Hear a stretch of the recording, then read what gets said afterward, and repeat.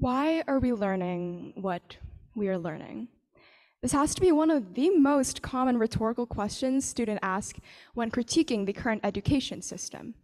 Why should we care? And at least from personal observation, a lot of the response has been, for a lack of a better phrase, a hit or miss.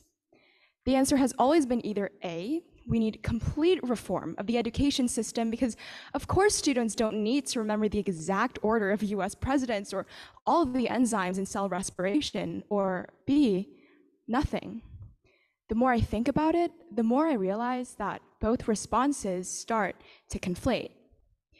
Even as a strong believer that all institutions can and should be reformed as times change, option A isn't exactly going to fix all our problems right now because option A takes time. There are many, if not more, steps for complete education reform to happen than there are adenosine triphosphates produced through cellular respiration. 36 molecules, by the way. Thank you, HL Biology. I'm not saying it's not going to happen, but what I am saying is that as a student, I've learned the survival skill of dealing with the cards I'm dealt. For someone whose best small talk line is, I'm so tired, I can genuinely say that I have managed to find a way to care about subjects I'm not exactly the biggest fan of. Not because I only chose classes I enjoyed, but because I found something about every single class I could latch onto as my primary reason to care. I am an advocate for social justice, and it is global social issues that can make me truly care more than anything. And yes, I managed to find a way to incorporate my passion for these issues into every class.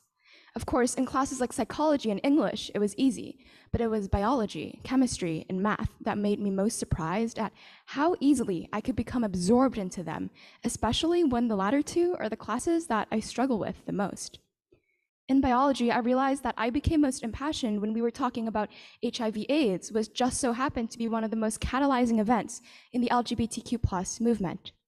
In chemistry, I found myself most immersed in ozone depletion when realizing its connection to the Kyoto Protocol. In math, when doing my practice internal assessment for the IB, I proposed to do a statistical analysis on funding in women's sports versus performance. In essence, there was always a way for me to connect my personal interest to the classes I had to take.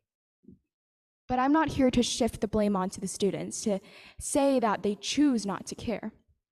In fact, that's the complete opposite of what I believe. Actually, I have, in classic debater fashion, three observations I've had in my personal experience. First, every single person has something that they truly care about, something that makes them geek out more than anything. Second, the only time I've seen my friends truly and actually enjoy a project in a class they say they hate is when they're given autonomy in their work autonomy that is oftentimes too rare.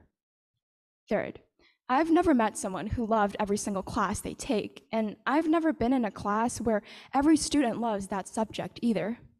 In fact, most students arguably are only truly impassioned about one or two. But what I believe is that just because we sometimes don't care about some subjects does not make us careless. Starting with my first observation, everyone has something they care about even if they say they don't or they haven't found it yet. So, what I personally believe the best thing teachers can do to support this journey is to give us a chance to explore, leading me to my second observation. Autonomy is something that we cherish more than teachers might realize. It may be easy to fall down the slippery slope of how giving choice to students will make us choose the easier topic, but to that I say, so what if we do? Because my third observation is the impossibility of us being absolutely passionate about every one of our classes. But that doesn't mean we simply don't care. Personally, I see school as a chance for us to explore every subject equally and to think to ourselves, in our most boring classes, where does our mind drift to? As Aristotle once said, the whole is greater than the sum of its parts. That's what I think school is not how much we like each individual class summed up together, but rather how our dislike for one class led to our epiphany of our enjoyment for another. I must admit, the title of the speech was slightly misleading. Making students care might have sounded like a tutorial, but it's also a statement. in which I contest by saying that you can't ever make students care about every subject all the time.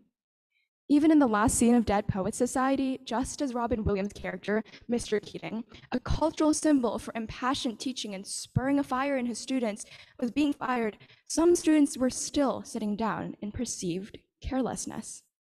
Because I don't think there is a way to make students care. What you can do is offer autonomy of exploration, which is why I believe the best thing a teacher can do is to give them a chance to care, a choice to care. Thank you.